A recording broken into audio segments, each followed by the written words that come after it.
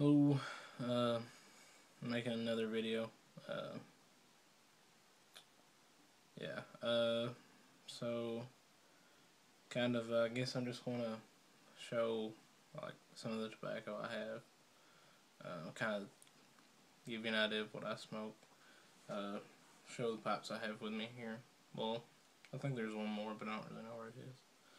Um, yeah, been watching YouTube videos seeing what people's got new. I need to subscribe to a lot of people because I haven't because I didn't have a channel or anything, so I just didn't. Um, also, in the video I posted earlier, I think it just now got loaded, but uh, I mentioned about maybe showing a trap or something. This is an older trap, uh, and I actually don't use it when I trap but only because mainly this pan, it needs a new pan. Like this pan's pitted and everything and it's falling apart around the edges. I picked this one up like four bucks at a Peddler's Mall.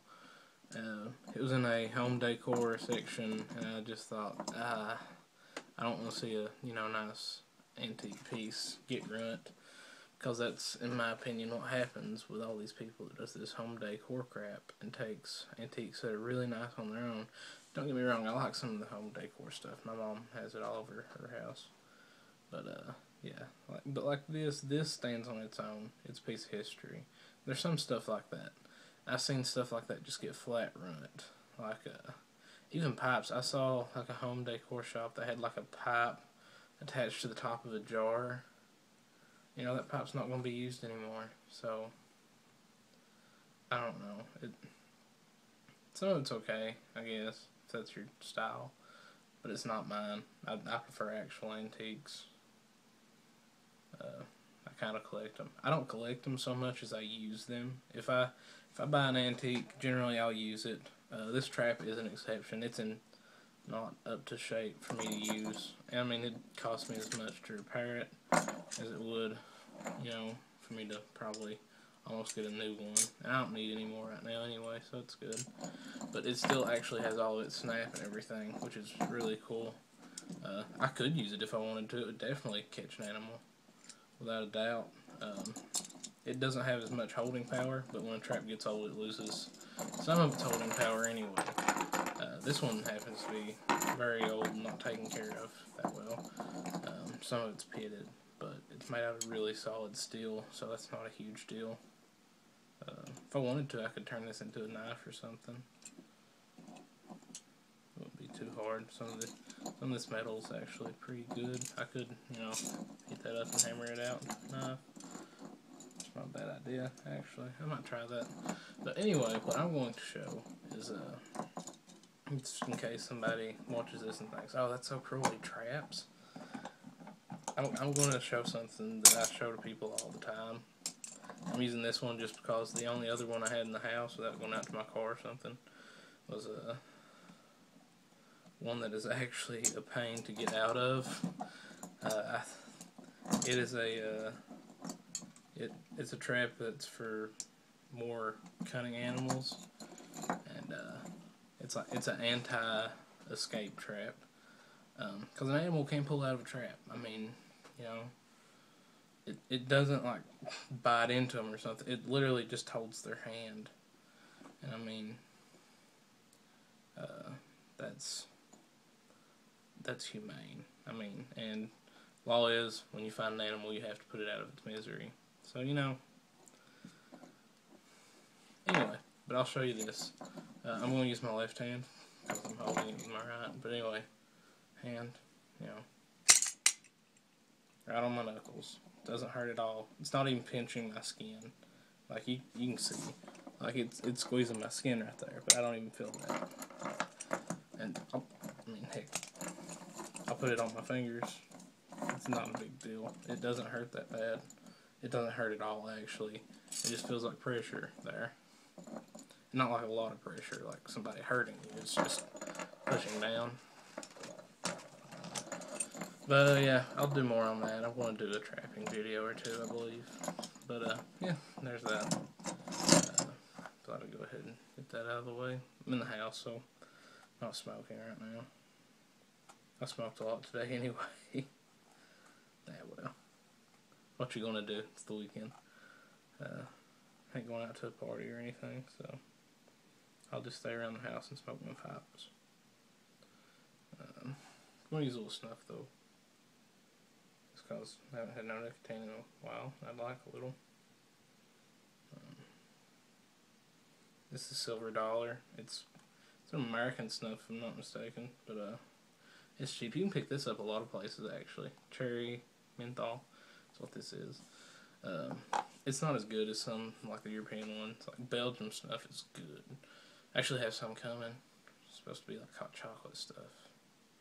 I'll do a video on that. That should be that should be real good. Looking forward to that. And then uh, you more that you can buy in America is like traditional stuff, like what old women use, you know. And uh, the way my buddy describes it to people is, it smells like a rodeo, man. It smells like a rodeo. I love that. It, it does smell like a rodeo. but yeah, and uh, uh, these tins I like because you can, it's got a little hole on it and you can just tap it out. Um, I use some that's in like a can too, and you just I use the spoon off my pipe tool and I just use it. Yeah. But uh, yeah, and I'm gonna. Oh gosh, that was bright. Uh, show you some uh, pipe tobaccos and such and all, and kind of my little tobacco area. Oh, also, uh, this is kind of my survival bag. That what I take camping and stuff too. And this, this is one of the traps like I keep in it, and that's the one I was talking about. It it closes, and it's hard to get off. It's just hard to open in general. Also, my bowling bag. I'm a bowler. Might do a video on that. Who knows? Yeah. I'm not bad. Pretty good. I used to work in a bowling alley. But, uh, yeah, here. It's not very bright in here. Probably less light than it was outside. But, uh, kind of what I got. A little traveling case. I keep my Englishes out generally, and that's the only two I have right now. Because I don't like them smelling my, my other stuff. A little travel sized humidor but uh, it needs filled up some, not much in it. Meerschaum I mentioned in another video, bunch of junk, cigar bands. Uh, I make uh, a I make wash tub basses. I want to use them when I make one for the uh, for the uh, stem, I guess you'd call it. I'm not sure what that's called. I'm not a music person really. I can play washtub bass pretty good and a little bit of mandolin, but yeah. Uh, tabletop pipe I made. Smokes really good. You know, a few other pipes. I think I've used all of them in the videos, except for maybe this one. Not sure. Pipe tamper I use. The uh, soundtrack from Paint Your Wagon. Yes, I'm a Western guy. A lot of young people probably don't know what that movie is. It's a good movie. You should watch it. But, uh, yeah. It's kind of my tobaccos and some tools I throw in here too. I like backwoods cigars. They taste they they taste good. All of them do. I like the honeyberry. I've smoked Prince Albert. I actually really like Prince Albert. I think it's a good quality aromatic. There's some burley ebony that I've smoked. Uh, that's burley. Yeah, that's burley. Island coconut, really nice room note on that one. Um, Fayette favorite, that's good. It's a it's a mixture that they make at a Fayette. It's good. Um, burley again. Uh, dark rum, which is really good. I roll it in rolling paper sometimes when I don't want to be outside long. Smoke it like you would Prince Albert or something. Uh, here's a twist of tobacco. I'm pretty sure this one's Kentucky Burley. You can I've chewed some of it, and uh, like the crumble off of it, you can smoke it. Very, very stout smoke. Very, very stout smoke. Uh, if you want to see if you're a real man, try some of that shit. Yeah, that'll hurt you. Chocolate. Again, really good room notes. Main reason I bought it. It smells kind of like brownies. Uh, cigar I have in with a, just a little bit of blackberry. That's not even a bowl full, probably.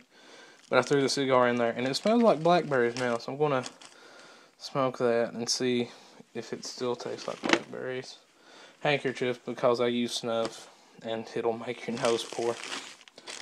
Yeah, that's about it in here. Some pipe cleaners. I need to get some more. On my nose. Nice more I have. I like Mora knives. Yeah, but I mean, it's pretty much the grand tour. Nothing special. I have some of my black powder stuff. Measure powder flask. Yeah, that's pretty much it. Uh, probably seen more in my room than you would have liked to. It's nasty. Need to clean it. Girl ain't been over though, so I ain't worried about it. if she ain't gonna complain at me, who is?